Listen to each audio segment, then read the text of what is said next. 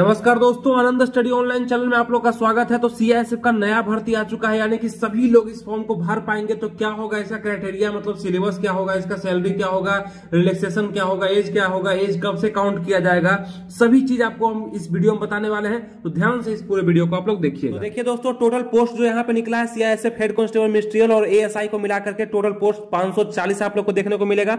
जहाँ पे head constable ministerial का अगर बात करें तो चार सौ अठारह पोस्ट सिर्फ़ हेड कांस्टेबल मिनिस्ट्रियल के लिए है और एएसआई के लिए असिस्टेंट सब इंस्पेक्टर के लिए यहाँ पे 122 पोस्ट दिया गया है। तो ज़्यादातर लोग जो अप्लाई करेंगे वो हेड कांस्टेबल मिनिस्ट्रियल के लिए करने वाले हैं लेकिन कुछ लोग एएसआई के लिए भी करेंगे। वो आगे चल के हम देखते हैं कि कौन सा पोस्ट किसके लिए और कितना दिया गया है किस कैटेगरी में कितना पोस्ट निकला है ठीक है? और आगे देखते हैं फॉर्म अप्लाई का जो डेट शुरू हो गया वो छब्बीस दिसंबर शुरू हो चुका है और पच्चीस अक्टूबर दो हज़ार बाईस तक ये डेट रहने वाला है। तो जल्दी से जाकर के आप लोग इसे ज़रूर अप्लाई करिए ताकि सर्वर फेल बाद में ना हम लोग बात करते हैं फॉर्म फ़ी कितना लगने वाला है? तो जनरल हो गया ईडब्ल्यूएस हो गए ओबीसी कैटेगरी जितने भी हो गए, उनको सौ रुपया लगने वाला है। अगर आप साइबर कैफ़े में जाके भरेंगे तो पचास साठ रुपया एक्स्ट्रा ले लेगा, लेकिन ऐसे ऑफिशियल जो फ़ी है, सौ रुपया लगेगा। और एस सी है, आप लोग फीमेल है ऑल फीमेल किसी भी कैटेगरी के फीमेल है, या आप लोग एक्स सर्विस मैन भी हैं तो आप लोग का यहाँ पे ज़ीरो रुपया लगने वाला है, कोई फ़ी नहीं लगेगा, ठीक है? आगे हम अगर देखते हैं यहाँ पे एज कैसे क्या काउंट हो रहा है तो अठारह से पच्चीस तक इसका मिनिमम एज रखा गया है, यानी कि अठारह से शुरू होगा किसी भी एज में आप जाएँगे तो अठारह से शुरू और मैक्सिमम जो होगा रिलैक्सेशन के साथ आएगा, जिसमें जनरल ईडब्ल्यू को कोई भी छूट नहीं देखने को मिलेगा।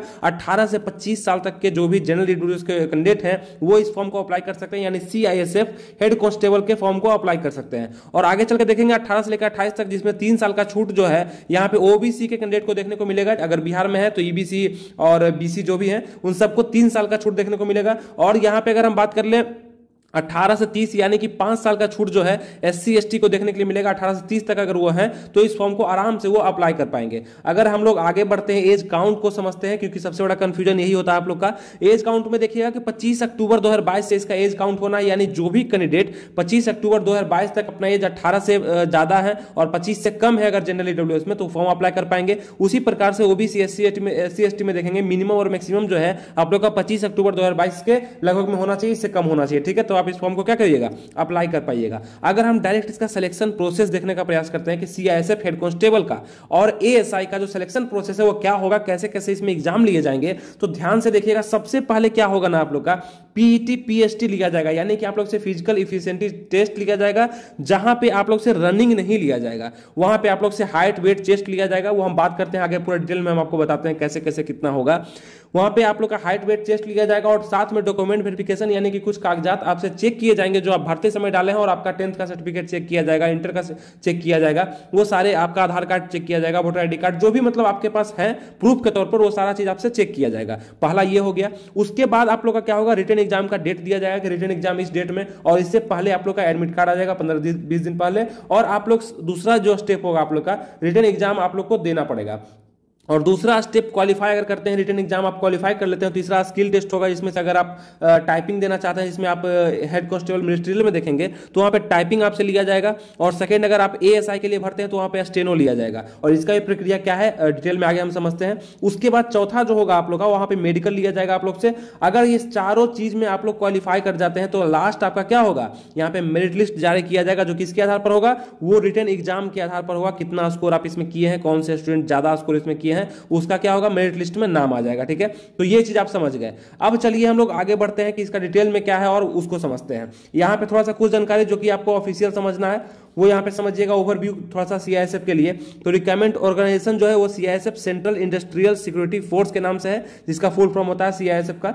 और उसका देखेंगे, पोस्ट नेम जो निकला है, इसमें हेड कांस्टेबल मिनिस्ट्रियल के लिए निकला है और असिस्टेंट सब इंस्पेक्टर अस्टेनो के लिए निकला है। ये तो आपको हम बता ही दिए। और एडवर्टाइजमेंट संख्या यहाँ पे दो हज़ार बाईस का होगा। और आगे हम देखते हैं क्या है इसमें। वैकेंसी कितना निकला है तो पाँच ये आपको बता ही दिए। अगर सैलरी स्लिप पे स्केल का बात करते हैं तो यहाँ पे हेड कांस्टेबल मिनिस्ट्रियल के लिए पच्चीस लगभग पाँच से शुरू होगा और इक्यासी तक लास्ट जाएगा इसका सैलरी तो काफ़ी अच्छा सैलरी है, दोनों में अच्छा सैलरी है, ज़्यादा सैलरी आपको हेड कॉन्स्टेबल मिनिस्ट्री में देखने के लिए मिलेगा, जिसमें सबसे ज़्यादा पोस्ट दिए गए हैं। आगे चलकर हम बात करते हैं एएसआई के लिए तो उनतीस से शुरू होगा और बिरानवे तक ये जाएगा। तो दोनों का पे स्केल अच्छा है सैलरी भी अच्छा है, बहुत अच्छा है, कोई दिक्कत नहीं है। जॉब लोकेशन अगर देखेंगे तो ऑल इंडिया में कहीं भी आपको जॉब करना पड़ सकता है, क्योंकि ऑल इंडिया की ही वैकेंसी है। कहीं से भी लोग इसको अप्लाई करेंगे तो कहीं भी आप लोग का जॉब दिया जा सकता है। कोई दिक्कत भी इसमें नहीं होगा आप लोग को। काफ़ी अच्छा जॉब है, बैठा हुआ जॉब है, बाबू का जॉब है, यानी कि आप बैठे हुए काम करेंगे, ज़्यादा इसमें हार्डवर्क आपसे नहीं लिया जाएगा। ये चीज़ तो आप जानते भी होंगे। और लास्ट डेट जो अप्लाई का है, वो 25 अक्टूबर तक दिया गया है। यानी कि 25 अक्टूबर से पहले पहले आप इसको भर लीजिए तो ज़्यादा अच्छा आप लोग के लिए रहेगा। और आगे हम बात करते हैं तो यहाँ पे देखिएगा थोड़ा सा मोड ऑफ़ अप्लाई ऑनलाइन होने वाला है, यानी कि ऑनलाइन अप्लाई होगा, लेकिन एग्ज़ाम इसका कैसा होगा, ये थोड़ा सा कन्फ्यूज़न में भी बना हुआ है, लेकिन संभवतः मैक्सिमम चांस है कि इसका एग्ज़ाम आज तक जो होते आया है, वो ऑफलाइन होते आया है। तो ऑफलाइन ही इसका एग्ज़ाम होने का संभावना पूरा पूरा बन रहा है। आगे हम देखते हैं क्या है इससे संबंधित। तो अप्लीकेशन फ़ी वगैरह आपको हम बताएँगे कि सौ लगेगा, ज़ीरो रुपया लगेगा ई एस एम मतलब जो उसके एक सर्विसमैन है सी एस टी है फीमेल है ऑल फीमेल का ज़ीरो रुपया लगेगा। पेमेंट मोड होगा ऑनलाइन या चलान के द्वारा एस चलान के द्वारा भी इसको पेमेंट कर सकते हैं कोई दिक्कत नहीं है। आगे हम अगर देखते हैं तो ये अप्लाई डेट भी आपको बता दिए लास्ट डेट भी बता दिए और एग्ज़ाम डेट जो है अप्लाई सुन होगा जो कि आपको मेरे channel a Anand study online के चैनल पर आपको बता दिया जाएगा। तो आप लोग को क्या करना है इसे जुड़ करके रहना है यानी कि सब्सक्राइब करके लाइक वगैरह करके इससे रहना है और चैनल को हमेशा वॉच भी करते रहना है। आगे देखते हैं क्या है इससे संबंधित बात। अब आइए हम लोग बात करते हैं एज लिमिट से संबंधित की एज लिमिट इसमें क्या दिया गया तो साफ़ साफ़ यहाँ पे लिखा गया अठारह से पच्चीस तक देखेंगे और यहाँ पे पच्चीस दस दो से आप लोग का एज काउंट किया जाएगा और जो एज में छूट है तो आपको हम बता ही दिए कि यहाँ पे जो था डिटेल आपको हम पहले दे दिए।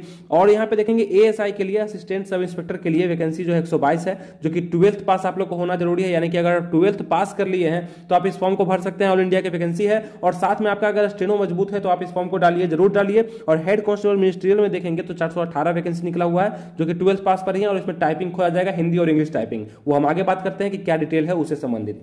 और यहाँ पे अगर हम बात करते हैं अब नंबर ऑफ़ पोस्ट से संबंधित कि कितना पोस्ट इसमें निकला है, जो कि आप लोग को जानना ज़रूरी है तो यहाँ पे अगर हम बात कर ले नेम ऑफ़ पोस्ट जो कि असिस्टेंट सब इंस्पेक्टर ए के लिए स्टेनोग्राफर के लिए है तो यहाँ पे देखिएगा सब चीज़ का नीचे में लिखा गया है मतलब यू आर जनरल का देखेंगे तो डायरेक्ट मेल का जो है चालीस सीट दिया गया है, और यहाँ पे देखेंगे फीमेल का छह सीट दिया गया किसमें? जनरल में। और एससी में अगर हम बात कर लेंगे तो यहाँ पे तेरह सीट है मेल में और एक सीट है फीमेल में। एस का बात करेंगे तो सात सीट सीट है और फीमेल में यहाँ पर ज़ीरो सीट दिया गया है। ओबीसी में बात करेंगे तो पच्चीस सीट दिया गया है मेल में और दो सीट दिया गया है फीमेल में। ईडब्ल्यू में बात करेंगे तो नौ सीट दिया गया है मेल में और एक सीट दिया गया है आपका फीमेल में। तो यहाँ पे टोटल सीट जो हो जाएगा मेल के लिए आपका सब इंस्पेक्टर में मतलब स्टेनोग्राफर में चौरानवे हो जाएगा और फीमेल के लिए दस हो जाएगा। और कुछ पोस्ट जो है डिपार्टमेंटल दिए गए हैं मतलब जो पहले से जॉब कर रहे हैं, उनके लिए है तो 18 सीट रिज़र्व है तो टोटल कितना हो गया? 122 यहाँ पे हो गया। आगे चल के हम हेड कांस्टेबल का जो फॉर्म भरेंगे उनको उनको समझना है कि हेड कांस्टेबल मिनिस्ट्रियल में कितना दिया गया है आप लोग के लिए सीट तो अगर जनरल है तो एक सौ बत्तीस दिया गया है मेल के लिए। अगर आप लोग जनरल में फीमेल है तो सत्रह दिया गया है आप लोग का जनरल के लिए। और एससी में देखेंगे, सैंतालीस दिया गया है मेल के लिए, पाँच दिया गया है फीमेल के लिए। और यहाँ पे डिपार्टमेंटल का अलग से आप देख लीजिएगा, यहाँ पे दिया गया और यहाँ पे देखेंगे, तेईस दिया गया है एससी में मेल के लिए एसटी में। और दो दिया गया है एस में फीमेल के लिए। और ओबीसी का अगर हम बात करें तो छियासी आप लोग का मेल का दिया गया है सीट और यहाँ पे फीमेल का नौ दिया गया है ओबीसी में। ईडब्ल्यू में बात करेंगे तो इकतीस सीट है और तीन सीट जो है यहाँ पे आप लोग का फीमेल का दिया गया टोटल यहाँ पे तीन सौ उन्नीस सीट हो जाएगा किसके लिए? मेल के लिए। और छत्तीस हो जाएगा फीमेल के लिए। तिरसठ हो जाएगा टोटल मिलाकर डिपार्टमेंटल और सब मिलाकर के जो पोस्ट होगा आप लोग का चार पोस्ट होगा यहाँ पे किसके लिए? हेड कॉन्स्टेबल मिनिस्ट्रियल के लिए। और टोटल मिला के आपको बताए दिए पाँच तो ये चीज़ भी आप लोग काफ़ी अच्छे समझ अब आगे चलते हैं कि इसका सिलेबस क्या होगा। उससे पहले आपको हम बता देते हैं कि जो आप लोग का क्राइटेरिया है, यानी कि आप लोग से जो लिया जाएगा टेस्ट लिया जाएगा स्किल टेस्ट के माध्यम से, उसमें और भी क्या डिटेलिंग है वो समझिए। CISF head constable A S I recruitment 2022 के लिए शैक्षणिक योग्यता क्या होगा? तो बारहवीं रखा गया है। कहीं से भी आप बारहवीं पास है, यानी कि third division first division second division कुछ भी है तो आप इस फॉर्म को भर पाएँगे, कोई भी दिक्कत नहीं है। इसके साथ आवेदक को टाइपिंग की नॉलेज भी होनी चाहिए, यानी कि अगर आप भर रहे हैं फॉर्म एएसआई का तो आपको टाइपिंग आना चाहिए। सीआईएसएफ हेड कॉन्स्टेबल मिनिस्ट्रियल और एएसआई का तो आस्टेनो भी आना चाहिए। तो अगर हम देखते हैं यहाँ पे असिस्टेंट सब इंस्पेक्टर जो स्टेनोग्राफर का फॉर्म भर रहे हैं सीआईएसएफ के तहत, उसमें क्या क्या चाहिए? तो ट्वेल्थ पास आपको होना है मतलब टेन प्लस टू का डिग्री आपके पास होना चाहिए किसी भी रिकॉग्नाइज बोर्ड के यूनिवर्सिटी के द्वारा। और यहाँ पे देखेंगे, वहाँ पे कुछ एक्स्ट्रा स्किल जो आपको डिक्टेशन दस मिनट का आपको अस्सी वर्ड पर मिनट चाहिए। तो यहाँ पे देखिएगा, आपको यहाँ पे कुछ बोला जाएगा, वहाँ पे अस्सी वर्ड लिखना एक मिनट में आपको अस्सी वर्ड लिखना होगा। ये चीज़ आप लोग में होगा, अगर आप जानते होंगे स्टेनोग्राफर के बारे में, अगर तैयारी करते होंगे तो। और यहाँ पे ट्रांसक्रिप्शन भी दिया जाएगा आप लोग से, इसका भी टेस्ट लिया जाएगा, पचास मिनट इन इंग्लिश और पैंसठ मिनट इन हिंदी में वो ऑन द कंप्यूटर लिया जाएगा। तो ये चीज़ आप लोग समझ गए, इससे संबंधित। और हम आगे अगर चलते हैं, इसमें देखते हैं हेड कॉन्स्टेबल में क्या है इसका क्राइटेरिया तो यहाँ भी टेन प्लस टू में आप इसको भर सकते हैं, कोई दिक्कत नहीं है। रिकॉग्नाइज बोर्ड यूनिवर्सिटी को इक्वेलेंट होना चाहिए और आप इसको डाल पाएँगे first division second division third division है तो।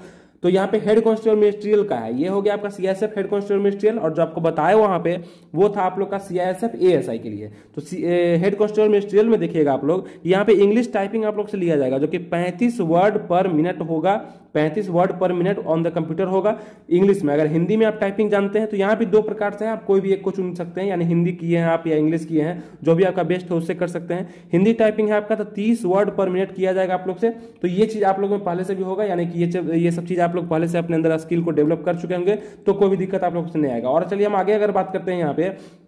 तो सबसे पहले आपको बात करना होगा सिलेबस पे। इसका सिलेबस क्या रहने वाला है? यानी कि एग्ज़ाम पैटर्न सबसे पहले तो आपका पीईटी पीएसटी हो जाएगा। मतलब किसी के लिए, दोनों के लिए सेम होगा। यानी कि अगर आप डालते हैं एचसीएम के लिए फॉर्म डालते हैं, या आप डालते हैं एएसआई के लिए डालते हैं तो दोनों का जो मतलब फ़िज़िकल इफिशियंसी टेस्ट होगा फ़िज़िकल होगा, वो सेम होने वाला है। फ़िज़िकल में क्या क्या होगा? तो हाइट वेट चेस्ट वगैरह नापा जाएगा आपसे। वो दोनों के लिए सेम होगा। और रिटर्न भी दोनों के लिए सेम होगा। आप लोग का जो डिसाइड होगा कि आप चॉइस के अनुसार डिसाइड होगा कि आप किसमें पास किए हैं, आपका किसमें सबसे ज़्यादा नंबर है, उसके अनुसार आप लोग को कोई वैकेंसी मिलेगा, ठीक है? तो ये चीज़ आप लोग खुद भी समझ रहे जिसका तैयारी किए उसी का फॉर्म आप लोग भी डालिएगा। तो अगर हम बात करते हैं सीएसएफ हेड कॉन्स्टेबल और एएसआई रिक्रूटमेंट के लिए एग्ज़ाम पैटर्न का तो निगेटिव मार्किंग इसमें नहीं दिया गया सबसे पहले ये समझना आपको। तो इसका मतलब कि सौ क्वेश्चन आपको दिया जाएगा, सौ में सौ आप लोग को लगाना है, और दो घंटा का समय भी आपको दिया जाएगा, और प्रत्येक क्वेश्चन एक नंबर का होने वाला है, ठीक है? और निगेटिव मार्किंग नहीं है तो कोई भी दिक्कत नहीं सभी क्वेश्चन को आप लोग ज़रूर लगाइएगा। और आगे बात कर लें कि मोड ऑफ़ एग्ज़ाम क्या होगा तो यहाँ पर तो दिया गया ऑनलाइन बेस्ड एग्ज़ाम लेकिन हमें हंड्रेड परसेंट भरोसा है कि आप लोग का जो एग्ज़ाम होगा वो ऑफलाइन पेपर पर दिया जाएगा, कोई भी दिक्कत नहीं होगा यहाँ पे। जो पहले से होते आया है ऑफलाइन पेपर, वहीं पे आप लोग का ओएमआर सीट के द्वारा एग्ज़ाम लिया जाएगा और सीबीटी एग्ज़ाम आप लोग का नहीं लिया जाएगा। इस चीज़ के, इस चीज़ से आप लोग निश्चिंत रहिएगा। आगे अगर हम चलते हैं कि किस सब्जेक्ट से कितने क्वेश्चन आने हैं, जिस पर हम और भी डिटेल में एक वीडियो लेकर के आएँगे, जिससे आप लोग को बहुत ज़्यादा क्लियर होगा कि इसका सब्जेक्ट में कैसे हम लोग को तैयारी करना है। आप नीचे कमेंट करिएगा तब। जितने भी लोग इस वीडियो को देख रहे हैं तो नीचे में आप लोग कमेंट करिए कि आप लोग इस वीडियो को चाहते हैं तो डिटेल वीडियो नीचे लिख करके कमेंट करिए, हम ज़रूर बनाएँगे सिलेबस का डिटेल वीडियो, ठीक है? सब्जेक्ट देखेंगे कौन कौन से क्वेश्चन पूछे जाएँगे, आपसे अगर रिटर्न एग्ज़ाम आप लोग देते हैं तो। तो यहाँ पे जनरल इंग्लिश और हिंदी से क्वेश्चन आने वाला है, यानी कि आप अगर इंग्लिश पढ़े हैं, यानी इंग्लिश सब्जेक्ट पढ़े हैं या हिंदी को पढ़े हैं तो कोई दोनों में से एक चुन सकते हैं, दोनों वहाँ पर रहेगा आपके एग्ज़ाम में। लेकिन दोनों में से कोई एक पर आपको टिक लगाना होगा, पूछा जाएगा आपसे हिंदी या इंग्लिश तो कोई एक पर आपको क्या करना होगा, रंग देना होगा, जो कि आप लोग अगर इंग्लिश करते हैं तो इंग्लिश पे करिए हिंदी करते हैं तो हिंदी पर हिंदी पे करिए। हिंदी करिएगा तो हिंदी के क्वेश्चन मिलेंगे, व्याकरण के क्वेश्चन मिलेंगे। इंग्लिश करिएगा तो इंग्लिश ग्रामर के क्वेश्चन मिलेंगे, जिसमें से 25 क्वेश्चन आपको देखे जाएँगे। प्रत्येक क्वेश्चन एक मार्क्स का, यानी 25 क्वेश्चन आपको 25 नंबर का मिलेगा। और अर्थमेटिक यहाँ पे देखेंगे तो मैथ का सेक्शन आपसे पूछा जाएगा। मैथ में आप लोग को देखेंगे नंबर सिस्टम और अर्थमेटिक से क्वेश्चन आएगा, पच्चीस क्वेश्चन जिसमें से पच्चीस नंबर का आप लोग का एग्ज़ाम होगा। फिर जनरल नॉलेज यानी कि जीके से आपको क्वेश्चन देखा जाएगा इसमें साइंस भी इंक्लूड रहेगा। वहाँ पे आप लोग को सभी तरह के क्वेश्चन जैसे हिस्ट्री हो गया जोग्राफी हो गया पॉलिटी हो गया फिजिक्स केमिस्ट्री बायो हो गया, ये सबसे क्वेश्चन आप लोग को मिलाकर पच्चीस क्वेश्चन दिया जाएगा, पच्चीस नंबर का होगा। और साथ में आप लोग से रीजनिंग काफ़ी इजी पूछा जाएगा, जो कि 25 क्वेश्चन रहेगा और 25 नंबर का होगा। तो ये सिलेबस का वीडियो आप लोग अगर कंफ्यूज करते हैं तो आप लोग को हम एक न्यू वीडियो बना करके देंगे, जिसमें हम पूरे अच्छे सिलेबस को बताएँगे आपको कि कहाँ से कितना क्वेश्चन कैसे पूछा जाता है। सब चीज़ आपको हम बताएँगे, वो ईजी हो जाएगा। नीचे कमेंट करिएगा, अगर आप लोग वीडियो चाहते हैं तो ठीक है? तो यहाँ पे टोटल क्वेश्चन कितना हो गया? सौ क्वेश्चन पूछा जाएगा। टोटल मार्क्स कितना हो गया? तो सौ मार्क्स का एग्ज़ाम होगा, प्रत्येक क्वेश्चन एक मार्क्स का। और निगेटिव मार्किंग नहीं होने के कारण आप लोग क्या करना है? सौ में सौ आप लोग को टिक लगाना है ताकि अच्छा स्कोर आप लोग इसमें कर पाइए। अब आगे चलते हैं, थोड़ा सा आप लोग हाइट वेट चेस्ट यानी कि जो आप लोग का सबसे पहला स्टेप हम बताए कि पहले आप लोग फॉर्म भर दीजिएगा और एडमिट कार्ड आप लोग का किस लिए आएगा? तो फ़िज़िकल के लिए आएगा, फिर रिटर्न के लिए आएगा, उसके बाद आप लोग का स्किल टेस्ट यानी टाइपिंग हो गया स्टेनो हो गया, जो आप भरेंगे उसके लिए आएगा, फिर मेडिकल के लिए आएगा, उसके बाद आप लोग का मेरिट लिस्ट बनेगा। तो ये सिलेक्शन प्रोसेस तो आपको हम पूरा बता ही दिए। और उसमें हम देखते हैं कि जो सबसे फ़र्स्ट स्टेप है वहाँ पे आप लोग का हाइट वेट चेस्ट का, उसमें क्या लिया जाएगा? तो वहाँ पे कैटेगरी देखेंगे मेल हो गया फीमेल हो गया। अगर हम हाइट का बात करते हैं तो एक सौ पैंसठ सेंटीमीटर जो है जनरल एससी और ओबीसी ध्यान दीजिएगा जनरल में आपको ईडब्ल्यू e भी आ जाएगा तो जनरल एससी और ओबीसी में एक सौ पैंसठ सेंटीमीटर हाइट किसका मांगा गया? मेल का मांगा गया। और यहाँ पे चेस्ट देखेंगे तो 77 सेंटीमीटर बिना फुलाए हुए और फुला करके बेरासी सेंटीमीटर का आप लोग को क्या चाहिए? एक्सपेंशन चाहिए, इतना फूलना चाहिए, पाँच सेंटीमीटर का फुलाव आपको यहाँ पे ज़रूरी हो जाता है। और हाइट अगर देखेंगे तो चेस्ट में तो सिर्फ़ मेल का ही लिया जाएगा फीमेल का लिया नहीं जाता है। और फीमेल का हाइट का अगर हम बात करेंगे तो अगर वो जनरल है एस है ओबीसी है तो एक सौ पचपन सेंटीमीटर उनका हाइट जो है मांगा गया है। तो ये चीज़ समझ गए और अलग से हाइट का व्यवस्था एसटी के लिए अलग से किया गया। वो क्या है? तो एक सेंटीमीटर का जो मांग किया गया, थोड़ा सा छूट इनको दिया गया है। लगभग यहाँ पे देखेंगे अढ़ाई सेंटीमीटर का। हाइट में यहाँ पर एक सेंटीमीटर इनको दिया गया है एसटी वाले को। और यहाँ पे देखेंगे चेस्ट में क्या किया गया है, उनको छिहत्तर सेंटीमीटर दिया गया है, यानी कि छिहत्तर सेंटीमीटर कम से कम, और फुला करके इक्यासी सेंटीमीटर यहाँ पे होना चाहिए। यहाँ भी देखेंगे पाँच सेंटीमीटर का यहाँ को छूट मिला है दोनों में। और यहाँ पे फुलाना तो दोनों को पाँच है। और अगर हम बात कर ले एसटी में अगर फीमेल है तो उनको 150 सेंटीमीटर ही हाइट मांगा गया है, जो कि काफ़ी अच्छा है। यहाँ पे एसटी कैंडिडेट वालों को दिया गया। तो ये चीज़ भी आप समझ गए हाइट से संबंधित अपना अपना हाइट आप लोग ज़रूर देखिएगा, जो हम बता रहे हैं। और रिलैक्सेशन हम देखते हैं कि बाकी अगर अगर स्टेट से हैं मतलब देखेंगे दूसरे स्टेट से हैं, जैसे कि आप देखेंगे यहाँ पे सिक्किम, नागालैंड अरुणाचल प्रदेश, मणिपुर, त्रिपुरा, मिजोरम, मेघालय से हैं, और वहाँ पे गढ़वाली है, कुमराव है, गोरखा है, डोगराज है, मराठा है तो ये सबको जो रिलैक्सेशन दिया गया है, वो भी लगभग एस जो कैंडिडेट अभी हम बताएँ आपको, यहाँ पर एस के लिए जो दिया गया है, वो सेम यहाँ पे दिया गया है इन लोगों का भी। खास करके देखिएगा यहाँ पे एक सेंटीमीटर का यहाँ पे मांग किया गया है और चेस्ट में सतहत्तर सेंटीमीटर कम से कम और फुला करके बेरासी, यानी कि पाँच सेंटीमीटर का फुलाव इनको भी चाहिए और चेस्ट में सिर्फ़ मेल और फीमेल का अगर हम हाइट का बात करें तो 150 सेंटीमीटर यहाँ पे इनको क्या किया गया है? दिया गया है। तो उम्मीद है हमको कि ये सब चीज़ आप बहुत अच्छे समझ पाए होंगे और यहाँ पे ये सब चीज़ आपको बता ही दिए तो टोटल चीज़ जो आपका संबंधित था सीएसएफ हेड कांस्टेबल से मिनिस्ट्रियल से, आपका और एएसआई से तो वो सब चीज़ आपको हम बताने का प्रयास किए और उम्मीद है आप लोग काफ़ी अच्छे से सब चीज़ को समझ पाए होंगे। और अगर नहीं समझे तो एक बार और इस वीडियो को दोबारा रिपीट कर लीजिए, कोई भी दिक्कत नहीं है। सबसे पहले तो आप लोग इसको लाइक कर दीजिए और सब्सक्राइब कर लीजिए हमारे चैनल को, क्योंकि जो भी वीडियो आएगा वो आप लोग का संबंधित होगा, यानी कि आगे जो नेक्स्ट वीडियो हम लाएँगे, वो काफ़ी हेल्पफुल आप लोग के लिए रहने वाला है तो इसको क्या करिए आप लोग सब्सक्राइब ज़रूर कर लीजिए। और नेक्स्ट वीडियो लाने के लिए कि किस पे नेक्स्ट वीडियो बनना चाहिए, यानी कि इसका जो रिटर्न एग्ज़ाम आप लोग को हम बताए, और भी डिटेल में चर्चा उस पर हम करेंगे, यानी कि कौन कौन से सब्जेक्ट से क्वेश्चन पूछे जाएँगे, और कहाँ कहाँ से क्वेश्चन आएगा क्वेश्चन का जो लेवल होगा, वो कैसा होगा, कितना हार्ड कितना डीप में क्वेश्चन आप लोग आएगा, ये चारों सब्जेक्ट से इंग्लिश से हो गया, हिंदी से हो गया अर्थमेटिक हो गया मतलब मैथ हो गया यहाँ पे जनरल नॉलेज हो गया रीजनिंग से हो गया, वो कहाँ कहाँ से क्वेश्चन पूछा जाएगा, ताकि आप लोग बेस्ट तैयारी करिए बेस्ट स्कोर करिए, क्योंकि यही आप लोग का क्या करेगा?